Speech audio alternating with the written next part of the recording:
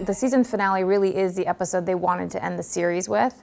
So um, they did it in a way that it could go on from here, but it's it's definitely a shocker. Like people are going to be excited, they're going to be surprised, maybe a little scared.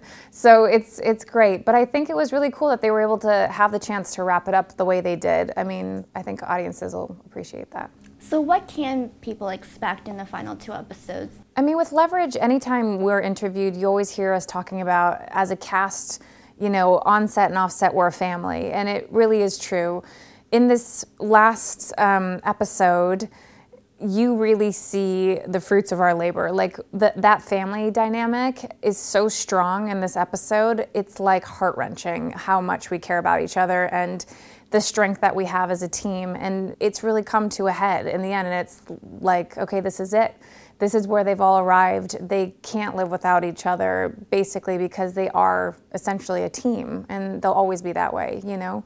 So it's cool. There's a little spin in the episode, and um, there's always a con under a con under a con. And so in this one, I think the shift is that audiences are going to be expecting a con and they may not have one.